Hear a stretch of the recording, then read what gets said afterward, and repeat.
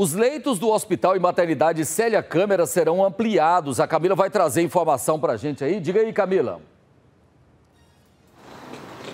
Pois é, Lores, a maternidade recebeu ampliação tanto de leitos quanto também de laboratório. Agora serão 15 novos leitos, chamados de leitos de alojamento, para onde as mãezinhas são levadas assim que dão à luz às crianças. São leitos mais humanizados, quartos ali separados, né, com a cama, também tem a parte do acompanhante, um banheiro privativo, enfim, toda essa situação ali para trazer mais conforto, segurança, qualidade no atendimento mesmo para essas pessoas que procuram a maternidade, uma maternidade que atende casos de alta complexidade.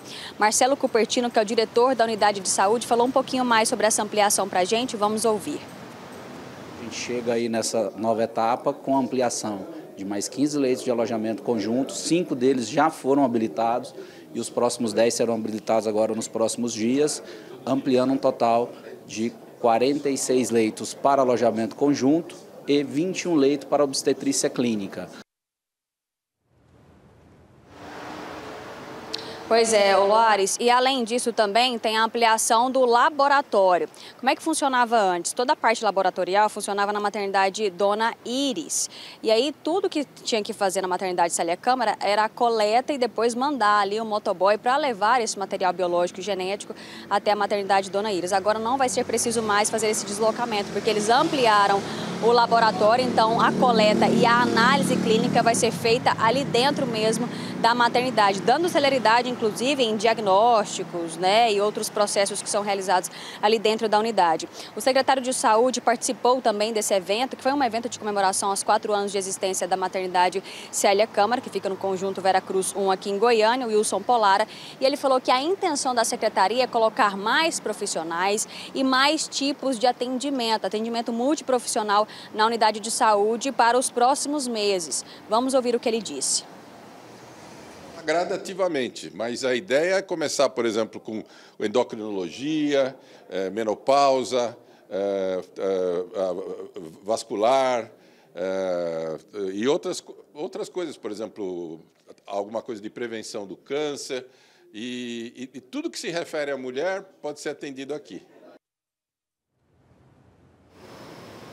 Pois, Oloras, a gente lembra que a maternidade, o Hospital e Maternidade Célia Câmara, né, ela começou a funcionar em plena pandemia em 2020. E assim que ela abriu as portas, abriu as portas ainda, né, sem a, toda a estrutura montada para atender pessoas que tratavam a Covid-19, né, com a, a, o oferecimento aí, a disponibilização de quase 40 leitos de UTI para pessoas com Covid-19. Muitas pessoas foram atendidas lá, receberam a alta, né, inclusive a gente entrevistou, tem uma reportagem com uma dessas pessoas, um sobrevivente da Covid-19.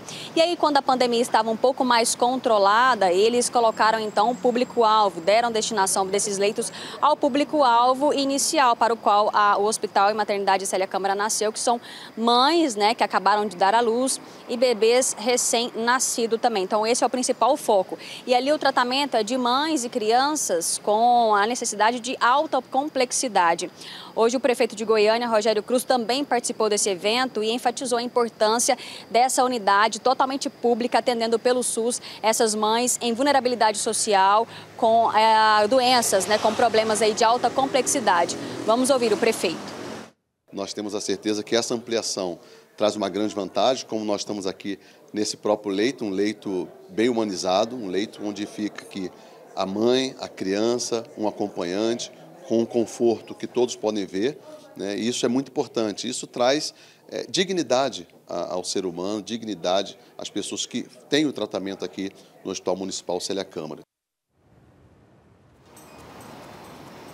Pois é, Lores, nesses quatro anos de funcionamento da maternidade, mais de 50 mil pessoas foram atendidas e agora mais essa ampliação, né, oferecendo aí cerca de 20% a mais nesses atendimentos para essas pessoas que tanto precisam, né, para mulheres e crianças que tanto precisam. Eu volto com você.